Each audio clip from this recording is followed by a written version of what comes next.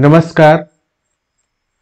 आज हम लोग क्लास नाइन के गणित का पहला चैप्टर नंबर सिस्टम यानी संख्या पद्धति के बारे में सीखने वाले हैं।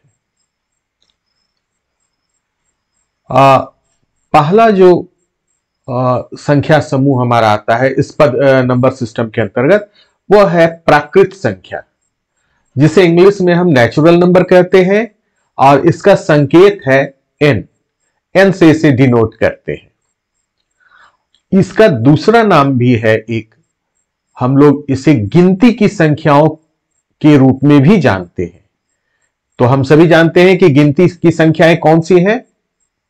ये शुरू होती है एक दो, तीन, चार डॉट डॉट डॉट अर्थात प्राकृत संख्या की शुरुआत होती है एक से, और यह अनंत तक चलती है।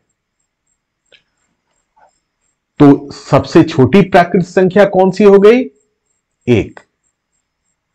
अब इसके बाद हमारा दूसरा जो संख्या समूह है, वो है पूर्ण संख्या। और इसे इंग्लिश में हम कहते हैं होल नंबर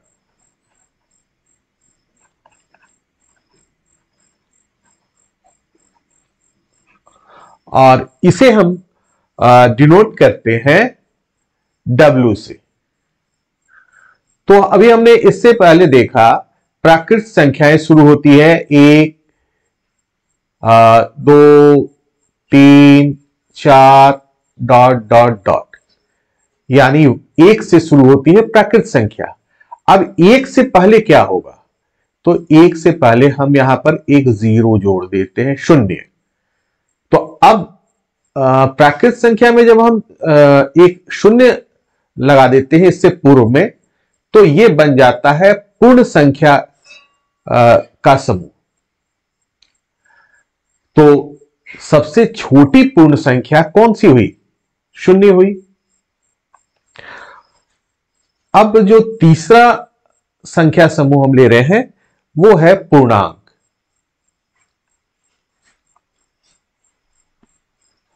और इसे इंग्लिश में हम कहते हैं इंटीजर्स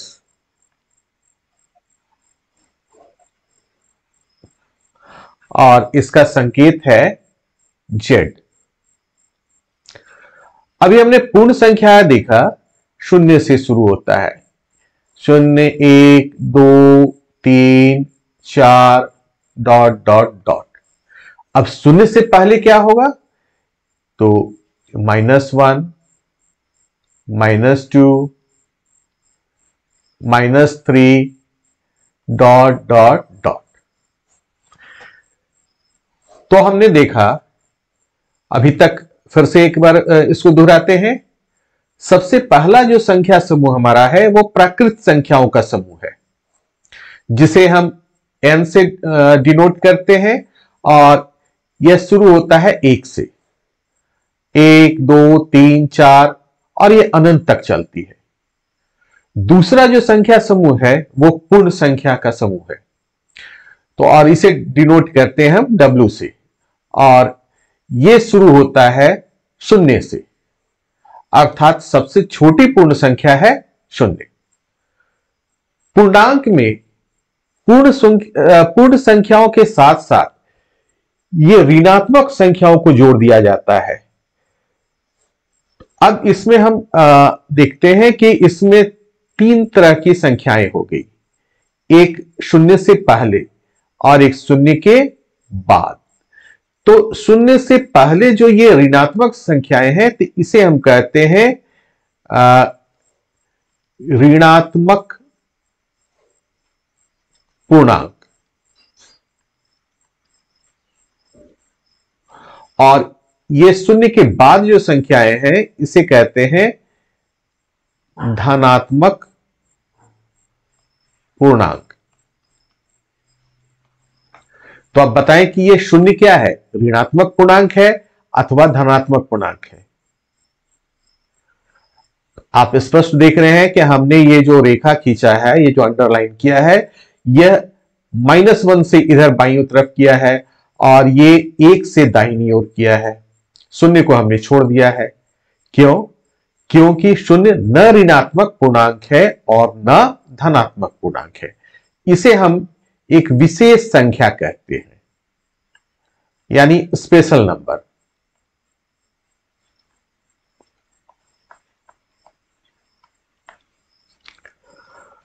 अब इसके बाद चौथा जो हमारा संख्या समूह है, वो परिमेय संख्याओं का है।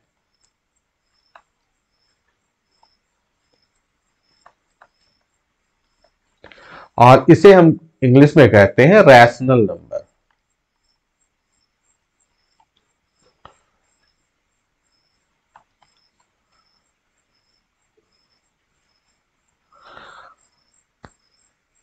और इसे हम डिनोट करते हैं या सूचित करते हैं क्यू से। ये कैसी संख्याएँ होती हैं? ये वैसी संख्याएँ होती हैं जिन्हें हम P बाई क्यू के रूप में लिख सकते हैं।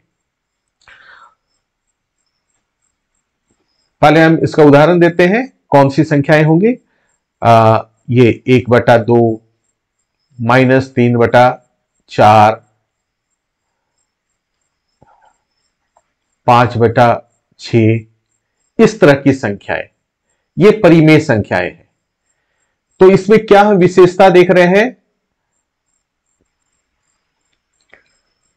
अभी हमने कहा कि परिमेय संख्याएँ वैसी संख्याएँ हैं जिन्हें हम P बाई क्यू के रूप में लिख सकते हैं।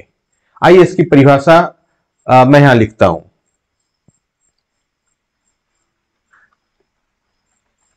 संख्या जो P बाई क्यू के रूप में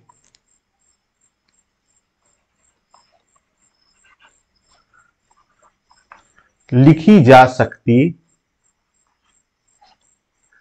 हो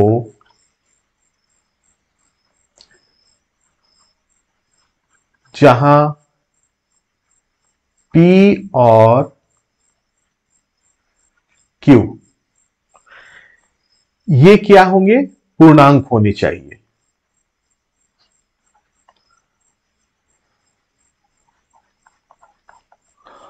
और एक शर्त है। Q शून्य नहीं होना चाहिए। तो हमने देखा कि परिमेय संख्या किसे कहते हैं? ये P बाई क्यू के रूप में होनी चाहिए। जैसे यहाँ पर देखिए, एक बटा दो माइनस तीन बटा चार, पाँच बटा छ ये जो ऊपर वाला है, इसे हम अंश कहते हैं, नीचे वाले को हर। इंग्लिश में कहें तो न्यूमरेटर और डिनोमिनेटर लेकिन ये एक और हमने शर्त लिखा है कि ये जो हर है, वो शून्य नहीं होना चाहिए। अब यहाँ पर एक प्रश्न उठता है प्राय पूछा जाता है, क्या शून्य परिमेय संख्या है? तो आइए देखते हैं। शून्य को हम ऐसे भी लिख सकते हैं, शून्य बटा एक, शून्य बटा दो, या शून्य बटे एक हज़ार। तो हम देख रहे हैं कि ये पी बाई क्यू के फॉर्म में है। ये शून्य पी है और यहाँ पर वन जो है वो क्यू है। यहाँ पर पी है शून्य और क्यू है दो। तो इस तरह से हम कह सकते हैं कि ये शून्य भी परिमेय संख्या है। अब एक और गुण हमने देखा, एक और चीज़ देख रहे हैं कि सभी प्राकृत संख्याएँ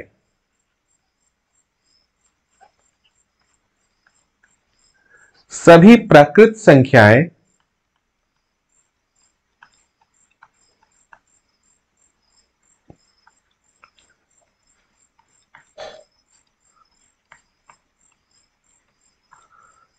पूर्ण संख्याएँ एवं पूर्णांक।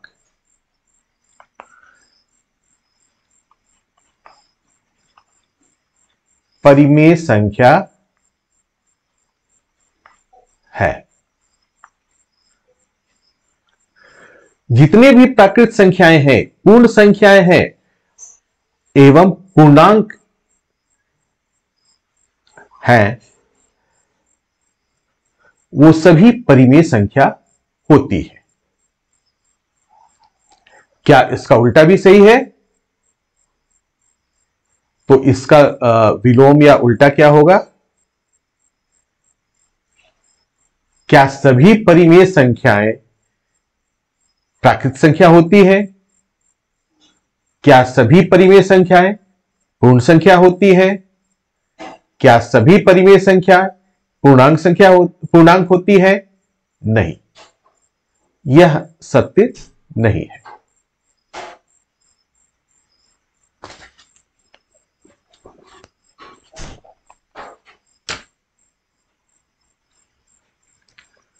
समतुल्य परिमेय संख्या, अर्थात इक्विवेलेंट रैशनल नंबर हम लोग देखते हैं कि एक बटा दो को हम दो बटा चार के रूप में भी लिख सकते हैं, और इसी को हम चार बटा आठ के रूप में भी लिख सकते हैं।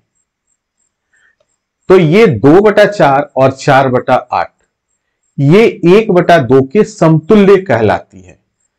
अर्थात समतुल्य परिमेय संख्याएँ हैं। अब है कि अगर हमें ये इस तरह का प्रश्न हो कि समतुल्य परिमेय संख्या निकालनी है। जैसे आ, तीन बटा दो के दो परिमेय दो समतुल्य सॉरी दो समतुल्य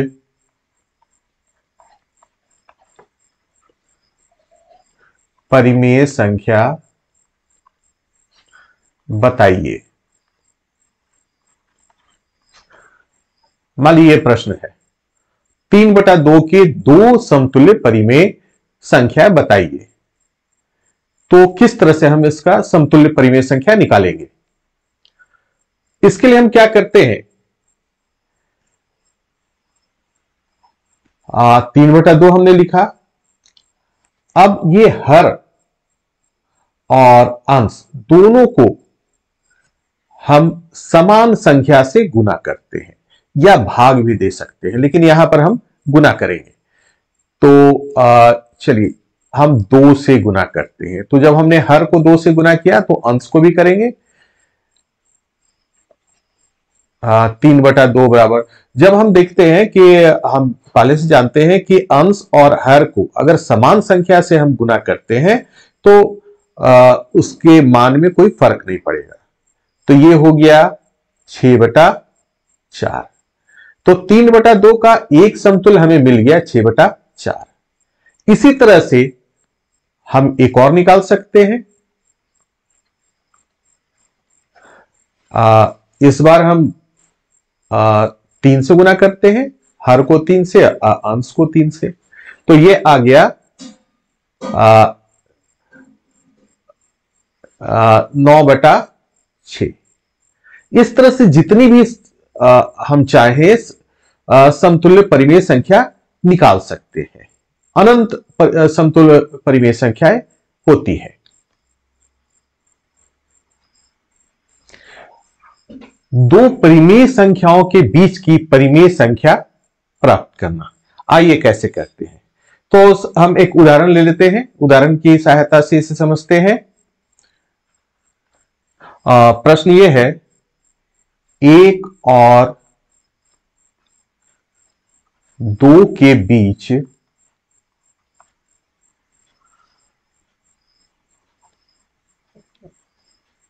ये च है। एक और दो के बीच तीन परिमेय संख्या प्राप्त कीजिए।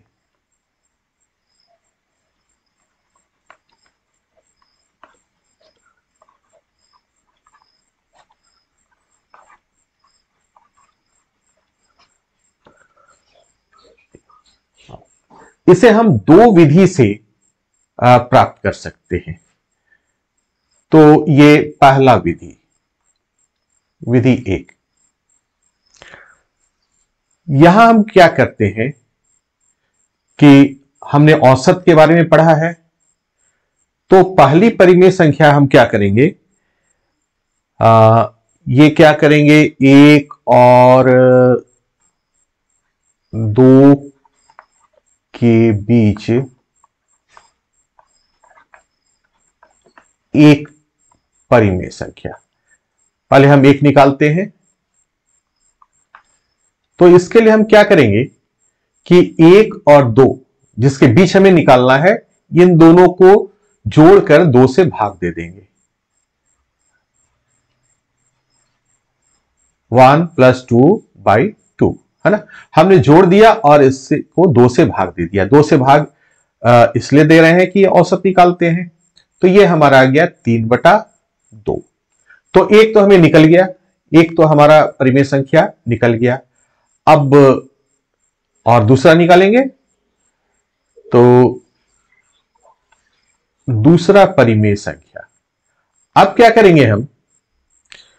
कि इस एक और इस तीन बटा दो के बीच की परिमेय संख्या निकालते हैं। तो ठीक यही विधि अपनाते हैं। एक जोड़ तीन बटा दो और ये ये बटा दो। तो आइए इसे हल करते हैं। तो ये लासा हो गया, यानी एलसीएम दो। तो ये हो जाएगा दो और ये तीन और ये बटा दो। तो ये हो गया पाँच बटा दो। और ये जो नीचे वाला है, ये हर, ये यहाँ पर गुना हो जाएगा। तो ये हमारा आ गया पाँच बटे चार। तो दूसरा परिमेय संख्या भी हमारा निकल गया। अब एक और निकालना है।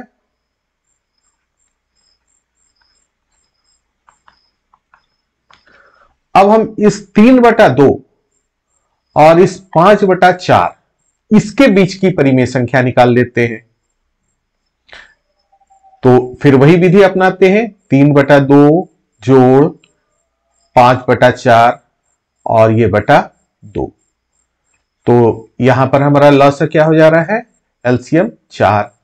तो ये दो दूनी चार, दो या ये, यहाँ पर छ हो जाएगा। और यहाँ पर पाँच बटा दो। तो ये हो गया ग्यारह बटा चार और ये नीचे दो है गुना दो। तो ये हमारा आ गया ग्यारह बटा आठ। तो इस तरह से हमने एक और दो के बीच तीन परिमेय संख्या निकाल ली। तीन बटा दो पाँच बटा चार और ग्यारह बटे आठ। इस तरह से अगर हमें दिया होता कि चार परिमेय संख्या निकालिए, पाँच परिमेय संख्या निकालिए या और कुछ रहता तो इसी विधि से हम निकालते चले जाएँगे। ये हमारा विधि एक हो गया।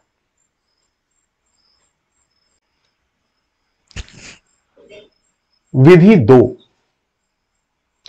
दूसरी विधि में हम क्या करते हैं कि आ, हमें तीन परिमेय संख्या ज्ञात करना है इन दोनों के बीच में एक और दो के बीच में।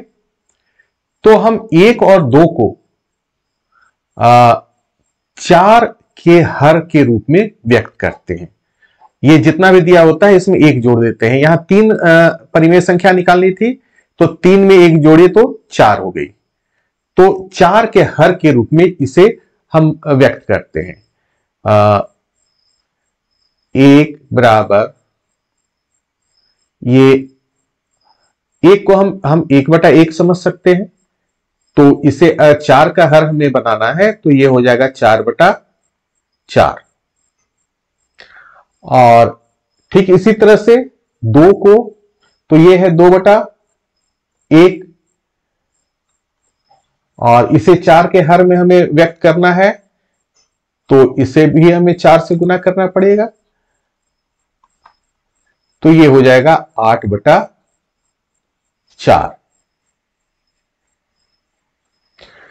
तो हम देख रहे हैं कि चार बटा चार इससे बड़ा हो जाएगा पाँच बटा चार, इससे बड़ा हो जाएगा छ बटा चार और इससे बड़ा होगा सात बटे चार और इससे बड़ा होगा आठ बटे चार। तो अब हम देख रहे हैं कि चार बटा चार और ये आठ बटा चार के बीच में ये तीन परिमेय संख्या है। पाँच बटा चार, छह बटा चार, सात बटा चार। लेकिन ये चार बटा चार है क्या? ये तो एक को ही हमने इस इस तरह से व्यक्त किया था ना, इसलिए one is less than five by four less than इसे अगर हम न्यूनतम रूप में लघुत्तम रूप में व्यक्त करें तो ये हो जाएगा तीन बटा दो और ये सात बटा चार और ये फिर ये तो दो है। आ, इसे फिर से पढ़ता हूँ। ये एक और दो के बीच में जो हमें तीन परिमेय संख्या मिल गई, पाँच बटे चार, तीन बटे दो और सात बटे चार। तो आइए इसे उत्तर में भी लिख देते हैं। इसलिए एक और दो के बीच तीन परिमेय संख्याएँ ये हो गई पाँच बटा चार, तीन बटा दो, सात बटे चार। तो क्या तीन ही परिमेय संख्या इन दोनों के बीच में है? या चार ही है, या पाँच ही है? नहीं। दो परिमेय संख्याओं के बीच अनंत परिमेय संख्याएँ हो सकती है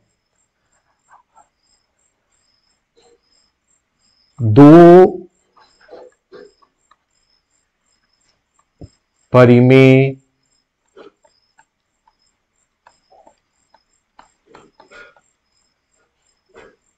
संख्याओं के बीच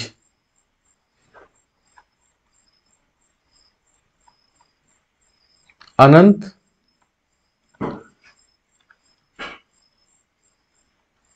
परिमेय संख्याएँ।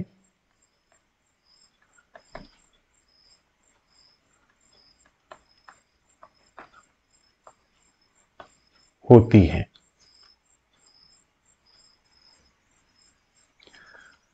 आइए कुछ मुख्य बिंदुओं को जानें। सभी प्राकृत संख्याएँ, पूर्ण संख्याएँ एवं पूर्णांक, परिमेय संख्याएँ होती हैं। सबसे छोटी प्राकृत संख्या एक है, सबसे छोटी पूर्ण संख्या शून्य है।